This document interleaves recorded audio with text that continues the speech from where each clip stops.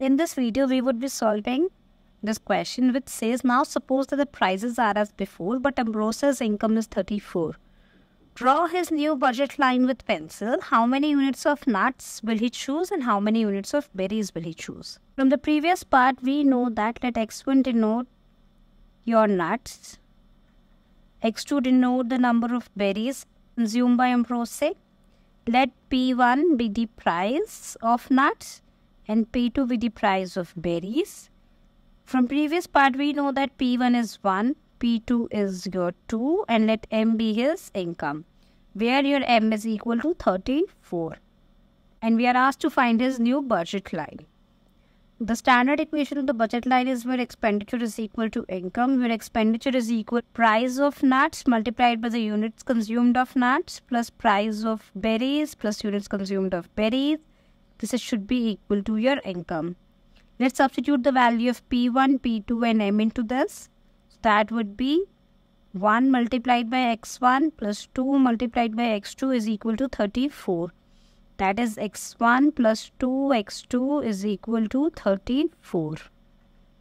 So this is the equation of a desired budget line. Now let's draw this budget line. This is the graph we have drawn till now. So where on the x-axis you have nuts, y-axis you have berries. This red solid graph gives Ambrose the utility of 20.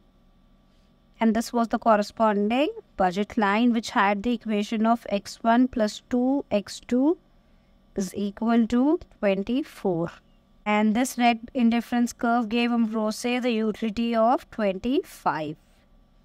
Now let's draw this budget line by simple geometry, this would look like this gray line. Now the further question asks us how many units of nuts will he choose or how many units of berries will he choose. And by what logic will Ambrose calculate how many units of nuts or berries to choose.